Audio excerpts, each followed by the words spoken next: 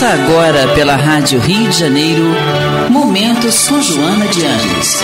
Um programa que trará a você as lições da espiritualidade. Produção e apresentação, Maria de Fátima Miranda. Paz, que o Senhor Jesus nos envolva. Estamos de volta para o nosso encontro semanal, estudando a obra da Dona Joana de Ângeles, que o Eduardo fala que não dona, mas ela é dona também. Espírito Joana de Ângeles. Aí eu tive o prazer de ouvir Simão Pedro falando Dona Joana de Ângeles, ele ah, também é. da mesma falange. Olha só, nós estamos na companhia dele. Muita paz a todos. E e também do Amauri Santos Neto. Isso. Muita paz a todos. Então nós agradecemos a Jesus pela bênção desta hora, né? Pedindo forças, bom ânimo, paz para você que passou uma semana que nós não sabemos, mas pode ter sido desafiadora. E vamos estudando o Homem Integral no capítulo 5, observando o que é que a Joana de Ângeles nos convida. O capítulo 5 nos fala das doenças contemporâneas e hoje nós vamos iniciar o item O Homem Moderno. Eduardo. Eita, vamos é nós, está caindo tudo aqui. Ó. Então vamos aí pegar o seu livro O Homem Integral, seu capítulo 5, tópico Homem Moderno. Diz Joana de Ângeles buscando enganar a sua realidade mediante a própria fantasia, o homem moderno procura a projeção da imagem sem o apoio da consciência. Evita a reflexão esclarecedora que o pode desalgemar dos problemas e permanece em contínuas tentativas de negar-se, mascarando a sua individualidade. O ego exerce predominância no seu comportamento e estereotipa fantasias que projeta no espelho da imaginação. Então ela já começa aqui firme, né? Batendo, né? É Batendo. firme, é, nos mostrando que muitas vezes nós nos enganamos. Nós nos enganamos a nós mesmos. Né? Não é nem que a gente queira enganar o outro. A gente cria uma realidade que nós mesmos passamos a acreditar nela e que não é uma algo real. Né? O ego, né, que é o eu, essa consciência que eu tenho de mim mesmo, ela mascara a realidade interior. Né? Nós vemos aí as, as, redes sociais elas mostram um pouco dessa realidade, né? Porque a gente tenta colocar na rede social é, uma vida que na, na verdade não é a vida real que nós vivemos. É como se fosse uma grande novela em que nós estamos ali representando um personagem feliz, uhum. bem-sucedido, que faz questão de mostrar somente aquilo que nós julgamos que seja o melhor, até para causar inveja no outro. Quando na realidade, por detrás daquelas câmeras que tiraram aquelas fotos, existem pessoas frustradas, é, inseguras, raivosas e que vivem uma vida completamente desequilibrada. É, o único caminho para se corrigir isso é o, o autoconhecimento, né? Já proposto por Santo Agostinho em O Livro dos Espíritos, na questão 919, quando ele fala que nós precisamos conhecer a nós mesmos. E a própria Joana de Ângeles, ela aprofunda bastante essa questão. Ela tem um livro dedicado a esse, a esse tema, que é o autodescobrimento. E enquanto nós não fizermos isso, né, não ficarmos mascarando para nós mesmos a nossa realidade íntima, a reforma moral tão necessária vai sendo adiada indefinidamente. Com certeza. E infelizmente, né, as redes sociais hoje só mostram o exterior, como você muito bem falou. E as nossas mágoas, as nossas tristezas, é, tudo aquilo está numa capa criada por nós mesmos é, quando nós tiramos uma foto, né? Eu mesmo tenho vivências, e eu sei que você também, e Miranda também, né? É, você quer conhecer o Amauri? Fica com ele pelo menos uns seis meses em casa para você ver quem é o Amauri. E aí, né, você convivendo é, num lugar como eu, por exemplo, que é, pago aluguel e convivo num lugar que tem várias famílias, com o tempo você vai conhecendo aquelas famílias e vendo quem é quem. Né? Então é muito interessante porque eu morei num, num apartamento em que havia uma pessoa que cuidava da, de uma senhora no primeiro andar, eu morava no segundo. E a, a neta vivia no terceiro. E é muito, as fotos são lindas. Nossa Senhora, aquele sorriso, minha avó, eu amo você, aquela coisa toda, né? Mas a prática não era, não era bem isso. Então a gente vê no cotidiano, né? A gente sabe quem é quem quando você convive no trabalho, né? Quantas vezes a gente vê é, chefes rigorosos, né? Cobrando da gente coisas que nem ele mesmo faz. E aí, por um acaso, você vai numa festa, vai num lugar e vê quem manda mesmo é a mulher dele. Né? Porque lá na festa ele está calado, não fala nada. A mulher fala, faz isso, faz aquilo. Porque ele guarda né? e exterioriza no trabalho aquilo que ele não pode fazer dentro de casa. É. São as nossas capas, né? as nossas personas, como diz a Joana e a psicologia. É. É um mecanismo de fuga. É, com é? certeza. É? Um mecanismo de fuga. E nós até compreendemos por isso a importância de Jesus em nossa vida e o Evangelho. A Joana ela vem esmiuçar essas emoções destrambelhadas que nós ainda carregamos, mas o Evangelho de Jesus é esse roteiro libertador, porque fazer esse trabalho do autoconhecimento sem a base do Evangelho é enlouquecedor. É verdade. É. Imagina, cada um fica diante de si mesmo com as limitações que apresenta, né? Limitações das quais na maioria, na maioria das vezes foge. E nós temos sempre alguém que nos ajuda a nos sintonizar, né? Ah, porque você é egoísta, porque você é isso, você é aquilo, é você é aquilo outro. E depois você começa, ou você entra numa de coitadinha e eu sou isso tudo mesmo e acabou, né? Ou então você se revolta e é um desespero só. Então nós agradecemos muito a Deus pela misericórdia divina e pela mensagem de Jesus. É nessas horas eu estava ouvindo um padre falar da Nossa Senhora de Lourdes e estava falando da Bernadette, que foi a menina que viu, viu né? A, a figura de Maria de Nazaré em Lourdes. Né? Então, ele dizendo como foi a vida, como foi o sofrimento daquela, daquela criaturinha ali, mas ela tinha aquela entrega com Jesus e a mensagem de Maria, eu, eu lembrei disso agora, porque essa sinceridade nas coisas mínimas. Era uma família sofrida, marginalizada naquela situação. Vivia praticamente o que eles chamavam de uma prisão, que parecia mais um calabouço. Sim não é? E quando ela vê a Imaculada e vão tem um ateu que vai indagar dela, vai vai é, fazer perguntas a ela porque ele queria de alguma forma desmascarar, né, achando que era uma fraude. E aí ela diz do sorriso da, da, da Imaculada, ele fala, mostra para mim como é que ela sorriu. Aí ela diz assim: ah, é porque o sorriso dela você não pode ver, porque eu tinha que estar no céu porque o sorriso dela é do céu. É a simplicidade de uma fé que está aberta para o que o outro precisa. E aí ele, quando ele insiste, ela fala assim, ela fica séria e fala: "Você não está acreditando em mim, não é?" Então, já que você é ateu e não acredita em Deus, eu vou sorrir para você. Eu fico imaginando foi a Maria que deu o um sorriso no lugar Com da menina. Certeza. Que o ateu deixou de ser ateu a partir dali.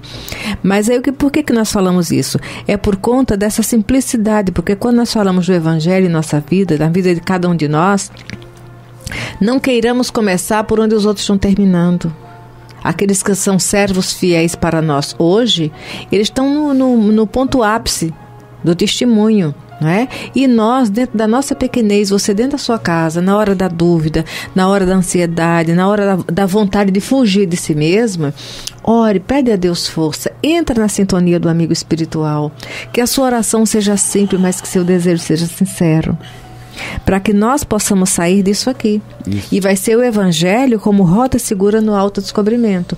O outro pode dizer que você é tudo, ele, ele não está errado. É, é, foi assim que eu comecei a trabalhar comigo para não ficar não é? Ou frustrado, ou então magoado e revoltado. Olha, o outro, ele pode dizer o que ele quiser comigo, ele pode pensar o que ele quiser. Ele não vai estar errado. Eu, o Raul Teixeira, às vezes, ele diz que guia não é gente. Eu fico imaginando, deve ter sido algum guia que falou isso pra mim. Olha, o outro pode dizer o que quiser de você, pensar o que quiser. E ele não tá errado, só que ele tá na reencarnação errada. É você agora tá tentando não ser tanto isso que ele pensa. É para que nós não fujamos cada um de si mesmo, né? E que possamos aproveitar Jesus em nossa vida. O anjo guardião é um mensageiro divino que tem sintonia com Jesus e vai te ajudar a sair desse momento difícil, desse estado emocional complicado.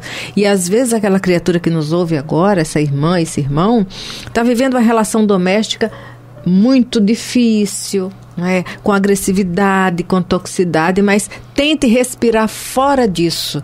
E respirar fora disso é buscar Jesus, pedindo a Ele força, bom ânimo, lembrando do que Ele faria para você. Independente do que você está sofrendo agora, imagina como Jesus te trataria. Você está sendo maltratada por alguém? Está sendo desrespeitada? Jesus não faria isso contigo. Então, entre escolher ficar na sintonia de quem te maltrata e de quem te acolhe, busca ficar na sintonia de Jesus daquele que acolhe, né? É isso aí. Que é muito melhor. É...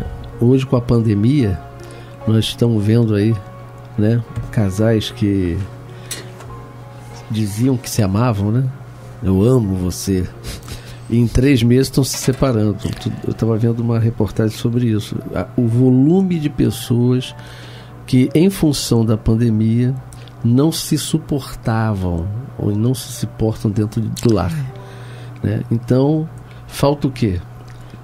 Todas elas estão esterilizadas, mas não, não se voltam para dentro de si, né?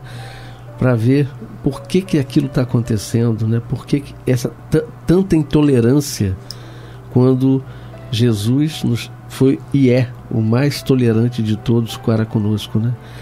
A paciência que ele tem com cada um de nós, Maria, né? Que ouve os nossos lamores muitas vezes, né? E às vezes eu peço ajuda a ela, porque eu sei que ele está ocupado, e como ele é filho, ele acaba ouvindo, eu faço igualzinho. Pede a mãe que o filho atende. É... O pessoal da Canção Nova fala assim. A irmã Dulce falou uma vez isso, eu gravei, né? Que ela falava assim: Eu tô com tanta dívida para pagar aqui da, da caridade que eu tenho, né? E aí falou pro Divaldo e aí eu agora estou recorrendo não mais a Jesus, estou recorrendo a Maria, porque eu peço a ela e ela vai interceder por mim junto a ele. E aí ele fica cansado de ouvir a mãe, e aí pega e é, faz o que eu preciso. E aí ele fala, o Divaldo fala que no dia seguinte o Roberto Carlos ligou para ela você conhece essa história, né? Não, eu, Não? eu sei que o Roberto ligou, mas os detalhes é, você então, conta. O detalhe foi esse aí da, da, da conversa dela com o Divaldo. E aí ele ligou, e a irmã, tá tudo bem? E ela disse, você sabe, né, meu filho, as dificuldades de sempre. Quanto a senhora está precisando? E aí ela disse, olha, estou precisando mais ou menos desse valor. E aí ele vai e deposita dois valores acima daquela e passa né, incólume, porque é tudo é discreto, tudo é, feito sem falar. Chamar atenção. É isso que é bacana, né? É verdade. Enquanto você falava, eu lembrava de um vídeo que andou circulando no Facebook.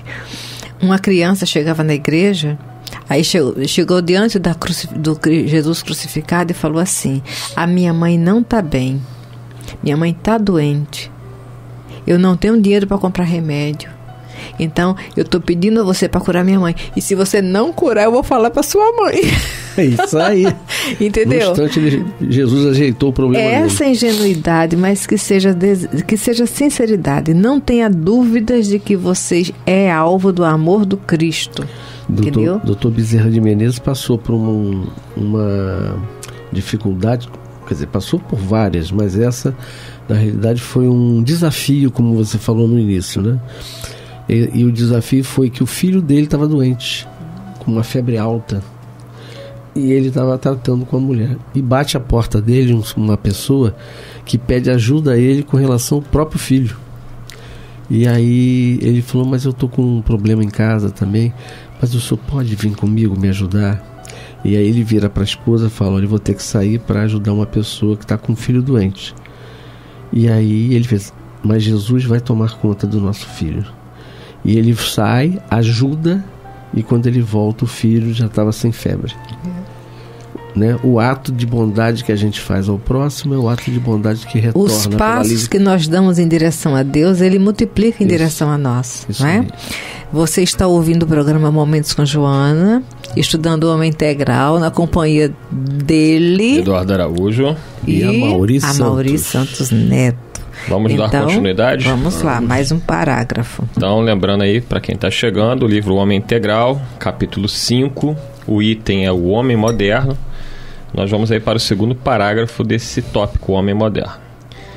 Diz Joana de Ângeles: Irrealizado, porque fugindo do enfrentamento com o seu eu, transfere-se de aspirações e cuidados a cada novidade que depara pelo caminho. Não dispõe de decisão para desmascarar o ego, por temer petrificar-se de horror, qual se aquele fosse uma nova medusa, que Perseu e apenas ele venceu somente porque a fez contemplar-se no escudo espelhado que lhe dera Atena. Então ela usa vários símbolos da mitologia para deixar claro o seguinte, que é o que ela coloca logo na primeira frase do segundo parágrafo, fugindo do enfrentamento com o seu eu. É, eu acho que é um dos nossos maiores Com desafios certeza. é o enfrentamento, não só diz isso a doutrina espírita, a própria filosofia budista, é, o Bhagavad Gita fala sobre isso, sobre isso, né, que é a dificuldade em lutar contra o nosso maior de todos os inimigos, as mazelas que nós trazemos em nós mesmos, ah, acumuladas aí ao longo de tantas e tantas encarnações. Isso está bem evidenciado no livro Pão Nosso, é, psicografia de Chico Xavier pelo Espírito Emmanuel, no tópico 101, Resiste à Tentação. Quando o Emmanuel vai falar dessa luta né, que a gente tem que travar contra o nosso próprio eu, contra as mazelas morais que trazemos. E ele diz assim: enquanto o nosso barco espiritual navega nas águas da inferioridade, não podemos aguardar isenção de ásperos conflitos interiores, que todos nós temos. né? Mormente na esfera carnal, toda vez que empreendemos a melhoria da alma, utilizando os trabalhos e obstáculos do mundo, devemos esperar a multiplicação das dificuldades que se nos deparam em pleno caminho do conhecimento iluminativo. Prestem atenção agora nessa, nesse parágrafo aqui. Diz Emmanuel: Contra o nosso anseio de claridade, temos milênios de sombra. Essa frase eu acho ela muito forte, muito significativa e me ajudou muito em determinada época porque eu trazia um grande conflito, né? Co- Começando na doutrina, ainda bem mais jovem, né? Mais de 20 anos. E, eu, eu acreditava que eu poderia me transformar de forma muito rápida. Porque eu lia né, os livros, ficava muito tocado com aquilo tudo, o evangelho. E eu imaginava o quê? Bem, isso aqui é fácil, é só eu fazer. E aí eu fui descobrindo que eu não conseguia fazer. Fazer é difícil. É que os vícios eram muito fortes, né? Que, que as paixões que eu trazia eram muito fortes e quando eu dava por mim, Sim. eu continuava incorrendo dos mesmos erros. E certa vez eu fiquei muito depressivo com, a- com isso, assim, eu não vou conseguir, eu não tenho capacidade, o que está acontecendo? E aí a espiritualidade, por misericórdia, me deu essa página em que o Emmanuel explica, né, que contra o nosso anseio de claridade, quer dizer, a gente tem um anseio, a gente tem um desejo de luz, do bem. Contra esse anseio, existem milênios em que nós nos comprazíamos na sombra. Ele continua aqui, antepondo-se na- à mais humilde aspiração de crescer no bem, vigoram os séculos em que nos comprazíamos no mal. É por isso que, de permeio com as bênçãos do alto, sobram na senda dos discípulos as tentações de todos os matizes. Por vezes, o aprendiz acredita-se preparado a vencer os dragões da animalidade. A gente sai da casa espírita, né? chorou, se emocionou, teve em contato isso. com os benfeitores e falou: agora eu vou. Sensibilizar. Agora vai. Aí no dia seguinte. seguinte, volta tudo. Às vezes no mesmo dia, mas às vezes Meu no dia é seguinte a verdade. gente vai lá e É. escorrega de novo. Perfeito. E aí diz Emmanuel que, todavia, quando menos espera, eis que as sugestões degradantes o espreitam de novo, com- compelindo-o a porfiada batalha. Claro, portanto, que nem mesmo a sepultura nos exonera dos atritos com as trevas, cujas raízes se nos alastram na própria organização espiritual.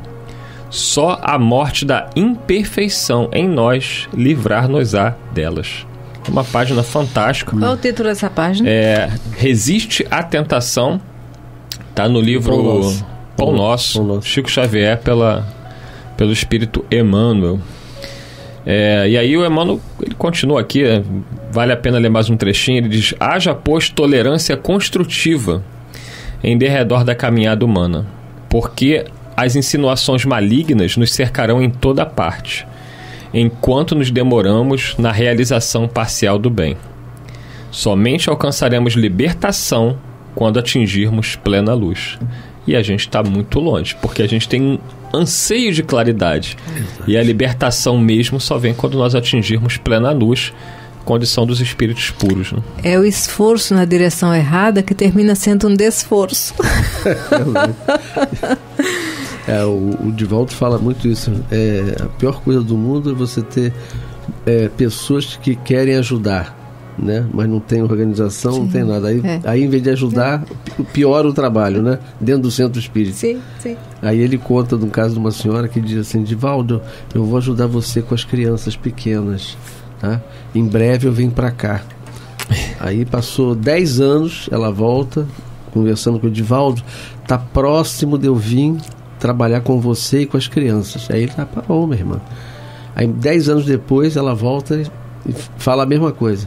Chegou a hora de eu vir para cá trabalhar, ajudar você com as crianças. Aí ele fala: então você traz também uma, uma, é, uma mulher para cuidar da senhora, porque a senhora. Olha o nosso ego. Né? Olha o nosso ego. É, a- o que a senhora quer é que a senhora, a senhora não vem me ajudar. Há 20 anos atrás a senhora vinha falando isso. E veio agora, a senhora já está com, com 80 anos, a senhora quer que a gente ajude a senhora ou a senhora veio ajudar as crianças? A senhora não vai ter paciência com as crianças, com aquela com a gritaria que as crianças fazem que é normal. Então a senhora traz uma cuidadora também. A coisa é nesse nível. Nós conhecemos alguém que vivenciou algo semelhante, né? E nos narrando que a pessoa dizia, olha, eu vou tal, eu vou me aposentar e eu vou chegar e eu vou fazer, eu vou chegar e tá chegando a aposentadoria. Aí quando estava chegando a aposentadoria chegou um câncer também, É, claro. né? E a pessoa até tentou voltar, mas o outro já não estava mais lá. Porque a vida seguiu e as necessidades também, né? E a criatura ficou achando que o outro tinha que estar lá esperando ela chegar e agora cuidar do câncer dela. A gente, infelizmente, uma existência muito curta, né? 80, eu tô com uma tia de 102 anos, irmã da minha mãe, que já foi embora. A gente vai se cristalizando, a gente não, não continua o processo evolutivo nosso a nível de mente. A gente cristaliza aquilo que a gente acha que é verdade no tempo em que a gente viveu. E aí só aqueles que se desprendem disso, é, é assim que eu vejo a vida, né? Ah, você tem 70 anos, mas você é uma pessoa moderna, uma pessoa que aceita as coisas que hoje se passam, você não se revolta, você, pelo contrário. E aí você tem aqueles que não, que se cristalizam. Na minha época, na minha época, e, quer dizer, a sua época é que era boa. Quer dizer, hoje não tem nada bom. Não. E aí a gente não acompanha esse processo evolutivo e vem o Alzheimer. E a pessoa também não melhorou, porque ficou Não, na época lá de trás e não é, cresceu. exatamente. Aí, aí cristaliza e fica É. parado. Graças a Deus existe a morte para também nos reciclar. Né? Porque eu vejo o pessoal dizendo, ah, graças a Deus, fulana descansou. Aí eu fico pensando assim, é, agora que ela vai começar a trabalhar. É. Entendeu? Porque pensa que descansa, não descansa. A gente, a gente recicla. Né? Se tem mérito, ainda vamos voltar para cá. Né? Talvez num planeta melhor, talvez não, com certeza num planeta já regenerado. Mas se nós não tivermos, né, nós vamos sim voltar para um planeta que não é aqui, mas é um planeta em que nós tenhamos condições de continuar o nosso progresso individual e coletivo. É isso aí. Eduardo, chegamos, né? Chegamos ao final Então- aí, agradecendo aos nossos amigos, esperando que essas reflexões nos ajudem aí a Isso, que tenhamos uma esse semana. enfrentamento com o nosso eu. É aberta para o socorro dos benfeitores, pedindo inspiração na hora de dormir, orientação segura, conforto e cuidado. Perfeito. Muita paz. Muita paz. A Rádio Rio de Janeiro apresentou Momentos com Joana de Ângeles um encontro com as lições da espiritualidade. Produção e apresentação: Maria de Fátima Miranda.